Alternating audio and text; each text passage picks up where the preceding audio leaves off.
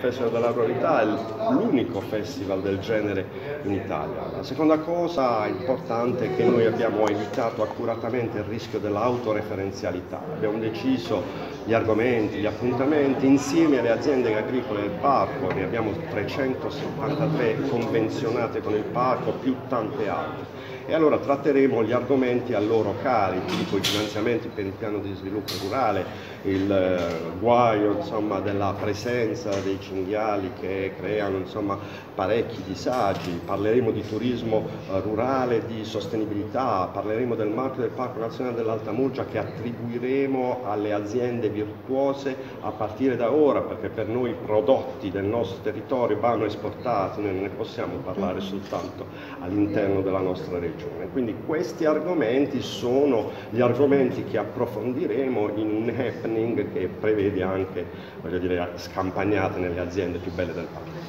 Grazie.